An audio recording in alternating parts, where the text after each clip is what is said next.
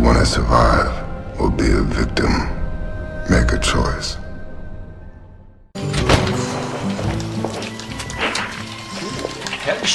Hej. Hej, hej mamma. Jag glömde säga, vi har LAN-party. Ja, ser det. Ja, hur gick jobbintervjun? Nej, men jag gick inte dit. Vadå gick inte dit? Det kändes inte rätt liksom.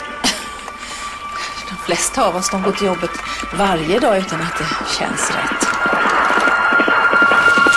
Ja, men vad, vad gör du? Vi, vi håller på att attackera Hems klyfta. Du, det är dags att du skaffar dig ett eget jobb och en egen lägenhet. När jag var 30, då hade jag flyttat utomlands. Jag hade fått dig, jag hade en karriär, jag hade tagit en fil. kand, jag hade skilt mig. Jag har en idé till ett spel. Nej, Måns.